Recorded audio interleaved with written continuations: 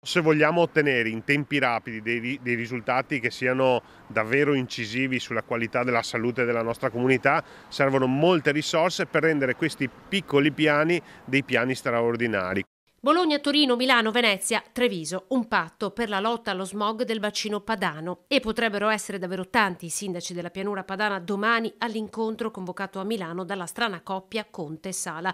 Due sindaci, due colori politici, ma questa volta l'obiettivo è comune, la salute dei cittadini. In modo assolutamente trasversale, con l'obiettivo di garantire la sicurezza dei nostri cittadini e soprattutto restituire alle future generazioni un bacino padano, una pianura padana delle città meno inquinate inquinate. Un incontro convocato proprio nella giornata mondiale della Terra che da 54 anni si celebra il 22 di aprile.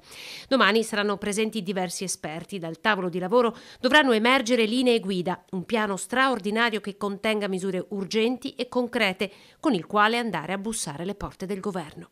Capiamo che il momento è difficile, è altrettanto vero che grazie agli studiosi, agli scienziati che domani saranno con noi, creeremo delle linee guida che saranno realizzabili se tutti noi ci crediamo, noi sindaci, noi presidenti di regione, noi governo e noi Europa. Determinato il primo cittadino che per primo aveva inviato una lettera al ministro Picchetto Frattin chiedendo un incontro.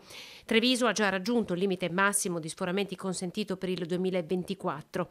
Put transennato oggi, accessi chiusi per la domenica ecologica, un appuntamento promosso dalla Regione del Veneto nell'ambito delle misure di contenimento delle polveri sottili, viabilità modificata dal 9 alle 18, una misura che aiuta aiuta, ma evidentemente non basta.